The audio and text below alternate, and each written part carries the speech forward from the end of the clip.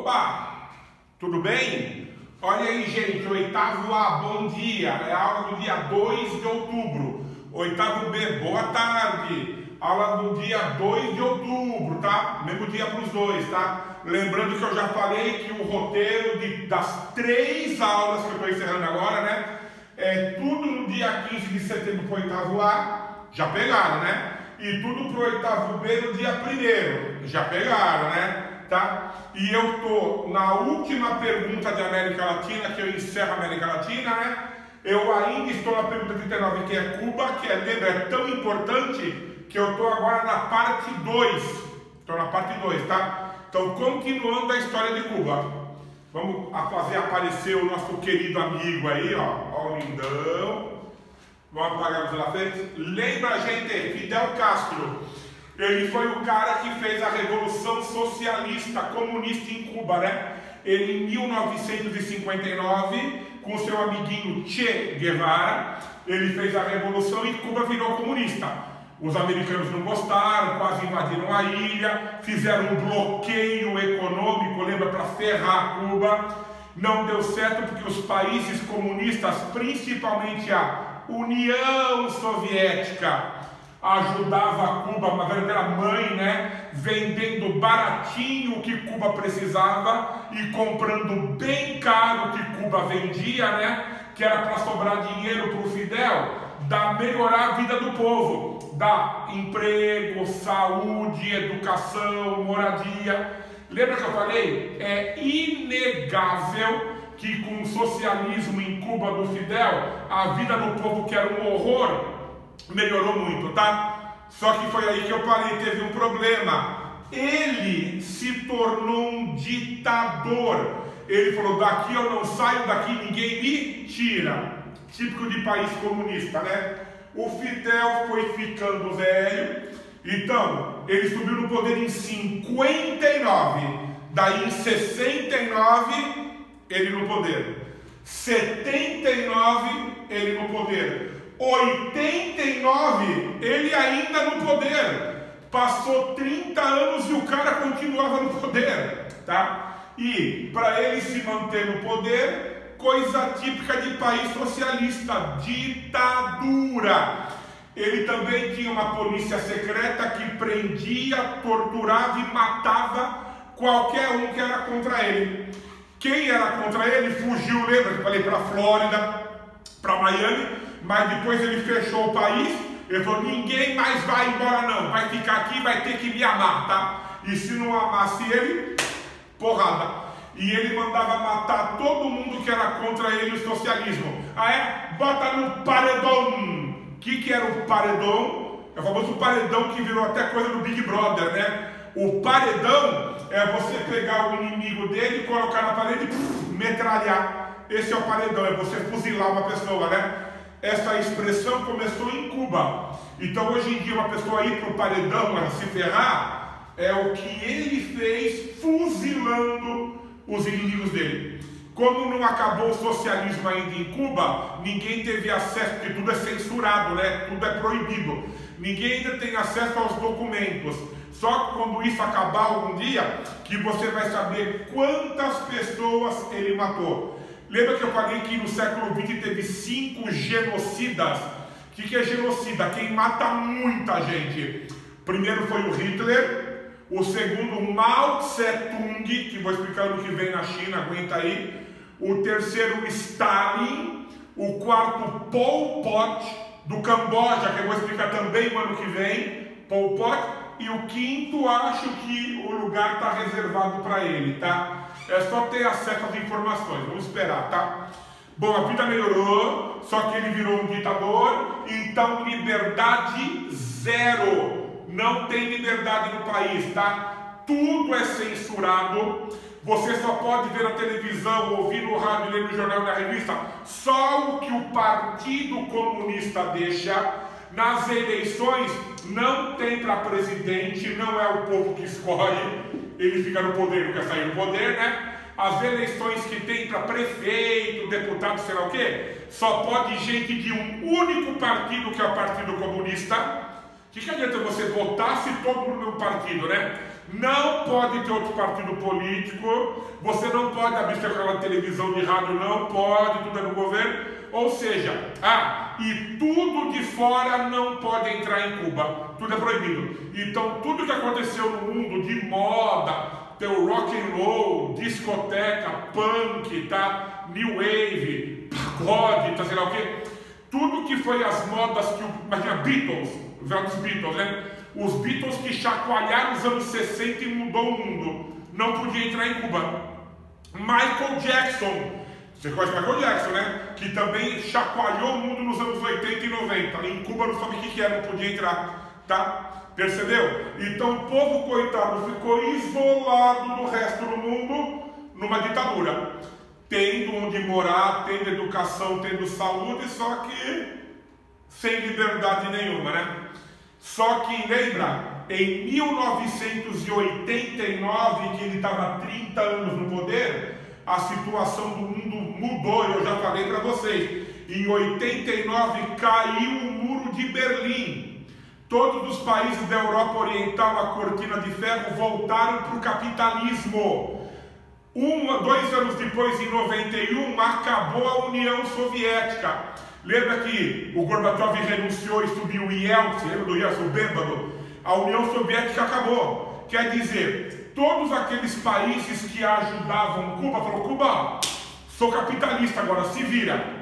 Só sobrou a China, né? E a China que ajudava um pouquinho falou, Fidel, se vira, meu filho, já tenho meus problemas aqui, se vira, tá? Ele ficou sozinho. 30 anos no poder, acabou a ajuda. Acabou. Tanto que só tem hoje dois países comunistas no mundo, né? Um é Cuba e outro é a desgraça da Coreia do Norte, né? Pela pior que Cuba, tá? E a Coreia do Norte não pode nem com ela, imagina ajudar Cuba então, né? Então, Fidel, se vira, meu filho, tá? Ou seja, acabou o comunismo no mundo todo, a não ser Coreia do Norte que está parado no tempo, né? Ele falou: e agora? Acabou a ajuda. Não tem mais ajuda. Então não vai ter mais aquele papo de vender caro e comprar barato. Acabou. Ó, se vira.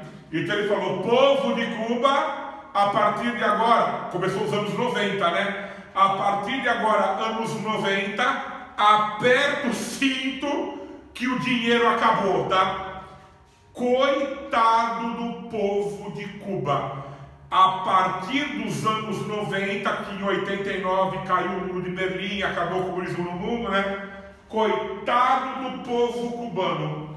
Como não tinha dinheiro, tudo passou a ser racionado. Porque Cuba não tem dinheiro, né? Então, por exemplo, se quisesse comprar alguma coisa da Coreia do Norte ou da China, tinha que pagar o preço verdadeiro, né? Tá vendo isso aqui? O que, que eles fizeram? Cuba não tem petróleo, então gasolina e diesel é caríssimo. Eles pegavam um caminhão, pegava dois ônibus, cortava no meio assim, tirava a parte do motorista, soldava dois ônibus em um e o caminhão puxava o ônibus. Que em vez de você colocar combustível em dois ônibus, você coloca em um caminhão. Eu procurei uma foto, eu não achei que eu vi falar de caminhões que chegavam a puxar três ônibus. Parou de fazer isso aqui, ó, de cortar o ônibus e juntar tudo, né? Eles pegavam três ônibus do jeito que é mesmo, amarravam um no outro e um caminhão puxava.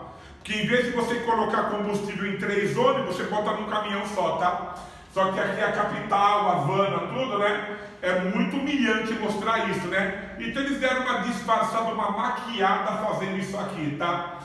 Não tem dinheiro para comprar nada. Para comprar cimento e tinta, material de construção que é importado, o país não tem dinheiro. Resultado, tudo caindo aos pedaços desde o começo dos anos 90 que tudo em Cuba não, não consertam nada, não passam uma mão de tinta, o país parece que foi bombardeado, caindo, tá? Comigo, bom, já vou chegar aí, tá?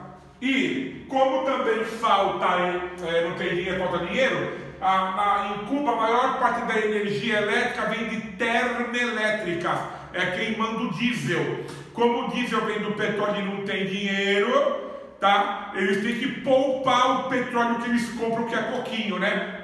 Resultado, nos anos 90, o auge da crise cubana, só tinha energia elétrica 4 horas por dia. Só tinha energia. Só funcionava as termoelétricas à base de petróleo que era caro, só funcionava das 6 da tarde às 10 da noite. 10 e 1 da noite, blackout, apagão no país inteiro. Você quer continuar acordado? Velas. Acontece que vela também é feito de petróleo parafina, né? Também custava caro. E também você tinha que ficar racionando as velas. Ou você ia ficar no escuro, tá? Então imagina, num país que é calor o ano inteiro, é 35 graus o ano inteiro. Meu, eu, eu, eu ia morrer lá, pelo amor de Deus. Você não poder ligar um ventilador, um ar-condicionado que não tem energia. Você não poder ver televisão. A tua geladeira ficar desligada, você não tem uma água gelada. É desesperador, tá? Então muita gente no verão, quando é insuportável de quente, a temperatura à noite é 30 graus à noite, tá? O povo não consegue dormir. O que, que faz? O povo vai para a rua e fica na rua batendo papo, conversando até amanhecer, tá? Porque é insuportável ficar em casa sem um ventilador. Ou seja, até energia faltava no país. Coitado do povo, tá? A comida também era racionada, porque toda a comida vinha da União Soviética bem baratinha, né? Acabou a União Soviética, acabou a ajuda. Agora Cuba tem que pagar pela comida, né? Não tem dinheiro, li, é, libreta de abastecimento, cada caderneta de compras. Toda a família de Cuba ganhou uma caderneta que é controlando a comida que podia comprar todo mês, tá? A comida passou a ser racionada, ó. Controle de vendas para produtos alimentícios, ó. Você tá vendo? Então aqui você vai colocar tua foto, ó, ó, documento de identificação, ó, tá? Aqui, ó, você vai ter que colocar a tua foto aqui e tudo. Daí você vai nos mercados de Cuba para você comprar a comida, ó.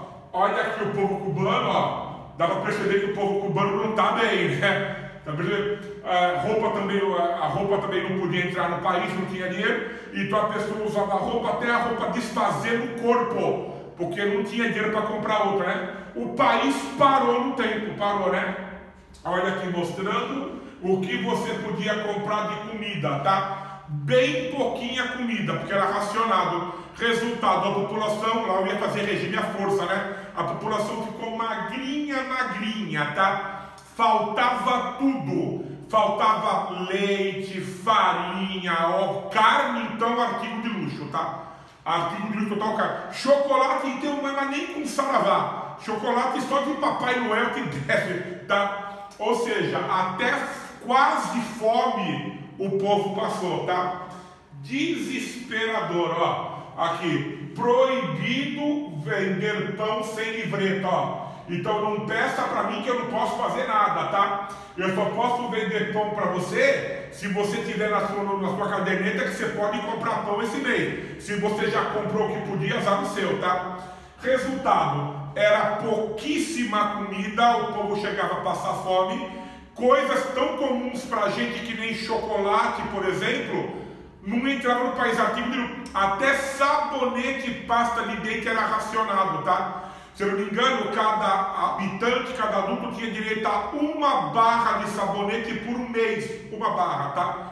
Isso quando tinha, às vezes faltava, tá? Então o único modo de você conseguir uma carne, um chocolate, alguma tipo um produto enlatado, tipo vai figos em calda, pêssegos em calda, o único modo era no mercado negro, tráfico de comida. Então você tinha que procurar alguém que foi para o exterior e trouxe na mala chocolate. Você tem chocolate aí? Tenho. Quanto custa, tá? Tipo, uma barra de chocolate era, era meio salário do mês, tá? Mas eu quero muito comer chocolate paga por ele meio salário, tá, tá bom. Então você tinha que dar metade do teu salário por uma barra de chocolate. Evidente que quem era pobre não podia fazer isso, né? Agora, quem era do governo, sempre, né? quem trabalhava para o governo desviava comida, desviava dinheiro, então ficava bem gordinho, porque o Fidel Castro, por exemplo, e seus ministros, eles moravam em casa com ar condicionado 24 horas por dia, a melhor comida importada, caviar, frutas, chocolate, champanhe vindo diretamente de Paris, né? Típico. Quem se ferrava era o povo, sempre, tá? Os caras do Partido Comunista, numa boa. E isso foi revoltando a população, tá? Ah, revoltou a população? Porrada, mais censura, mais repressão. Então o povo cubano comeu o pão que o diabo amassou a partir dos anos 90, tá? Acontece que em 2006 Sim, Fidel Castro continuava no poder em 2006, tá? Em 2006, o Fidel tava, começou a mostrar que estava tava velho, né? Ele começou a mostrar que estava doente, lógico, tudo era censurado, né? As más línguas diziam que ele estava com câncer, tá? E ele começou a ficar incapacitado de governar. Ele resolveu o problema em 2006, ele já estava no poder há nossa, tem que fazer conta agora. 47 anos, 47 anos, 47 anos no poder, 47 anos. Ele indicou o irmão dele, o Raul Castro, para ser o presidente do país. Que legal, né? O povo não escolhe nada, que nem uma monarquia, né? O rei coloca o irmão no poder, né? E daí, como ele estava doente em 2006, ele colocou o Raul no poder, tá? o Raul passou a ser presidente. Agora, na verdade, o Raul governava, quem falava tudo era o Fidel. Então, o Fidel descansando, sendo tratado, ele estava doente, em casa, ele falava: Raul faz isso, Raul faz aquilo. Então, na verdade, o Raul era uma marionete, um fantoche, um boneco do Fidel Castro. Você pode dizer que sim, ele continuava no poder indiretamente pelo Raul, tá? Acontece que o povo não gostava da situação, estava péssima, mas o povo até respeitava o Fidel, né? Tinha o respeito, ó, ele peitou os americanos, fez a revolução, o cara é muito macho, né? Mas o povo nunca gostou do Raul. O povo cubano detesta o Raul. Chama ele de El Chino, El Chino, porque ele tem o olhinho meio puxadinho, lembra chinês, né? Então é o chinês, tá? O povo não gosta do Raul. Como que ele respondeu com isso? Mais repressão. E Cuba foi indo de mal a pior. Oitavo A, oitavo B, são fotos atuais. Fotos de no máximo cinco anos atrás, tá? Olha a capital que é Havana. Se o que você vai ver é a capital, imagina como que é o interior do país. O país Cuba parou no tempo. Lembra, os mesmos carros de 50 anos atrás, porque eles não têm dinheiro para comprar carro, né? Olha aí, tudo caindo aos pedaços, porque não tem dinheiro para comprar tinta, cimento, material de construção. Olha aqui, ó, Havana, parece uma parece Heliópolis, uma favela, tá? Se Havana é assim, imagine o interior do país tudo caindo aos pedaços, parece que caiu uma bomba. Ó, prédios que não vê uma mão de tinta há mais de 30 anos, tá? Tudo, tudo decadência, tá? Olha aqui essa rua em Cuba, é hoje em dia. Os mesmos carros de 50 anos atrás. Meu, eu tenho medo de passar aqui, ó. Pode cair na minha cabeça, ó. Tá tudo desfazendo, dá uma olhada. O povo com as mesmas roupas de 30, 40 anos atrás porque a roupa passa de pai para filho, porque não tem dinheiro para comprar outra, tá? Olha aqui, ó, esgoto a céu aberto, as pessoas tudo mal vestidas, tudo caindo aos pedaços. Então o que acontece? A falta de liberdade de investimento, típico de qualquer país socialista, fez o, o, o país ir para o passado em vez de melhorar, né? Então o povo está tão desesperado, tão desesperado, que não via. Imagina você morar num país que tudo é censurado, você não pode falar o que você pensa, é, típico de país também socialista. Não tem liberdade sexual. Se você é lésbica, se você é gay, você tem que esconder, porque senão para o paredão, te matam ou te internam no hospital dizendo que você é louco, tá? Nem liberdade sexual pessoal você tem, tá? Você não tem perspectiva nenhuma. Você vai morar num país quente no caramba, passar calor, comer mal. O que, que faz um monte de gente? Tenta fugir para os Estados Unidos, tá? São os famosos balseiros. Eles fogem de balsa. Como os Estados Unidos é bem pertinho de Cuba, esses geralmente jovem, né? Porque não tem perspectiva nenhuma. Eles falam, eles vão numa praia deserta de madrugada porque a polícia cubana toma conta, né? Eles fazem uma balsa, eles se jogam no mar e vão remando, tentando chegar nos Estados Unidos, tá? É muito arriscado. O sol é muito forte, você tem que levar bastante água para você não morrer de sede, né? Se você tiver muita sorte, você consegue chegar em Miami, Estados Unidos, em dois dias, tá? vai ter que ter muita sorte, porque as correntes marítimas te levam para alto mar, dançou, né? Aqui tem furacões e aqui está cheio de tubarão. É muito arriscado, mas mesmo assim os jovens falam: eu vou morrer tentando pelo menos, porque em Cuba isso não é vida, tá? Essa foto foi tirada pelos guardas americanos, porque as patrulhas americanas veem esses balseiros, né? e recolhem eles para os Estados Unidos. Então eles estão aqui. Ah, estou aqui, me salva, pelo amor de Deus. Então eles estão todos aliviados. Esses tiveram sorte. Eles vão ser resgatados pelos americanos. E tem uma lei nos Estados Unidos que se um cubano for para lá, automaticamente vira americano. Isso é porque é da Guerra Fria, né? Então só cubano, que é um país comunista, pode entrar nos Estados Unidos e morar lá, né? Por isso que na Flórida está assim de cubano, tá? Então a única solução, qual que é a mesma? Você fugir para os Estados Unidos. Olha que tiveram sorte, ó. Tem gente até passando mal. Acaba a água, acaba a comida, aí o sol é muito forte. Se vê que isso daqui deve ter uns três ou quatro dias. Quem tirou a foto foram os americanos. Eles foram finalmente resgatados, tá? Eles tiveram muita sorte. Vamos para os Estados Unidos. Agora, de cada 10 balseiros, 7 não têm essa sorte, morrem. Morrem de fome, de insolação, de sede, afogado, atacado por tubarão, tá? Mas mesmo assim, o povo foge. Você tem uma ideia como é um inferno morar em Cuba, tá? Daí, olha o que muita gente gosta de comparar. O socialismo, né, se você fizer do jeito errado, ditadura, eu não estou dizendo que o socialismo é ruim, do jeito que até hoje fizeram com ditadura, deu errado, né? E o liberalismo que seria se dar liberdade. Não digo assim capitalismo, dá mais liberdade, tá? Ah, socialismo com ditadura. Havana em 50, Havana em 2010. Em 60 anos, olha o que ficou, piorou. E Liberalismo, liberdade, né? Hong Kong em 50, Hong Kong em 2010. Olha a diferença. Socialismo com ditadura, liberdade econômica com democracia. Olha a diferença. Mais um exemplo aqui, ó. Cuba em 50, Cuba hoje. Vou explicar isso no ano que vem. Singapura, uma ilha da Ásia, que eu vou explicar no ano que vem, tigres asiáticos.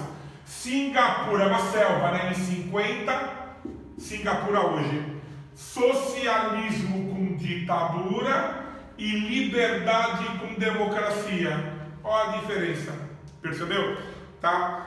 Calma. Em 2015, tá? O Raul Castro percebeu que tinha que fazer algumas mudanças que o povo estava desesperado e ele teve a sorte de pegar um excelente presidente nos Estados Unidos, o Barack Obama, tá? foi um ótimo presidente. O Barack Obama era mó de boa, tá? o cara era muito legal. Ele falou: Eu vou acabar com essa briga que o americano tem com Cuba. E ele marcou um encontro no Panamá, é o país do canal.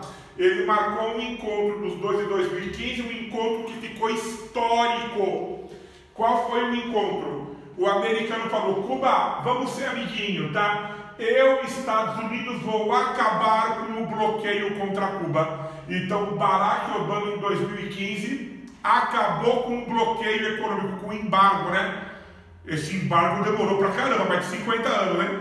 Ele acabou com o embargo, então todo mundo pode agora fazer comércio com Cuba. Cuba pode comprar de quem quiser, tudo melhorou muito a situação do país e, inclusive, ele também permitiu que qualquer país do mundo faça turismo em Cuba. Antes não podia, né? Então, Cuba agora está recebendo muito turista americano, europeu, japonês, levando dólar. Então, desde esse acordo com Barack Obama, o povo voltou a respirar, melhorou um pouco, tá? E está faltando a última coisa de esperança, né? Então o Barack Obama, os americanos fizeram as pazes com Cuba, tá?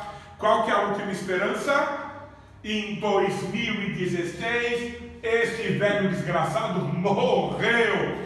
Fidel Castro morreu em 2016. Morreu Fidel, a morte de Fidel Castro, tá? Morreu com acho que mais de 90, acho que 91 anos, tá? Morreu, lógico, era bem tratado, tudo bom e do melhor para ele, né? Ele morreu, murió, mortinho, mortinho da Silva, tá? E com certeza está queimando no inferno, tá dançando, tá dançando pagode com o Hitler e o Stalin, tá? Morreu, tá desgraçado, morreu. E depois que ele morreu, o Raul Castro, que o povo não gostava dele, falou: Ih, não tem mais agora a sombra do meu irmão de respeito, né? Eu acho que o povo é capaz de me tirar do poder. Para eu não perder o poder de vez, o comunismo não acabar de vez, vamos fazer umas mudanças aqui, né? E em 2018, o Raul Castro escolheu um novo presidente de Cuba, que é o Miguel Dias Canel. Miguel Dias Canel. 2018? Esse é o atual presidente de Cuba, tá? Lógico que ele faz o que o Raul manda, né? Mas pelo menos quem está na frente agora não é mais o Raul. É o Miguel Dias Canel, né? Olha aí de novo eles. Então, quando o Raul apresentou para o povo um novo presidente, Miguel Dias Canel, olha uma foto dele aí para você ver. Olhou? Esse é o atual presidente de Cuba, Miguel Dias Canel, tá? Ele é um cara mais jovem, ele é um cara, hum, dizem que o cara mais legal, tudo, né? Ainda não deu para saber o que esse cara vai fazer. Quando ele subiu no poder, eu achei que ele ia fazer assim mudanças bem rapidinhas para começar a dar um pouco mais de liberdade para o povo, né? Por enquanto tá rolando muito devagar, tá? Ele está no poder, o Raul Castro ainda dá pitaco, ainda dá, fica dando, faz isso, faz aquilo para ele, tá dando, dando dicas para ele, tá? Mas ele ainda não está livre totalmente para fazer o que ele quer. O que eu posso dizer é que melhorou um pouco. Pelo menos não, é, não tem mais comida racionada, pelo menos não tem mais falta de energia. O povo agora até tem acesso à internet, consegue saber o que se passa no resto do mundo, tá? Melhorou um pouquinho. Vamos ver se esse cara vai ser um Gorbachev para Cuba, né? Ou vamos ver se ele vai ser um completo fracasso, né? Vou terminar com uma interrogação. Vou até fazer aqui. Gente, futuro de Cuba, qual será? Não sei, tá? Só sei que cubano é um povo, é um povo irmão do brasileiro, tá? É um povo muito legal, lembra muito brasileiro e não merecia ter sofrido tanto do jeito que sofreu, tá? Gostaram de Cuba? Eu adoro essa matéria, tá? Será que eu falei demais? Com Cuba eu acabo a América Latina, tá? Vamos ver se eu falei demais. Ah, tá jóia. Quase 30 minutos. Termino com essa interrogação aqui, ó. O que, que vai ser de Cuba? Não sei. Tchau, oitavo A. Tchau, oitavo B. Até a próxima.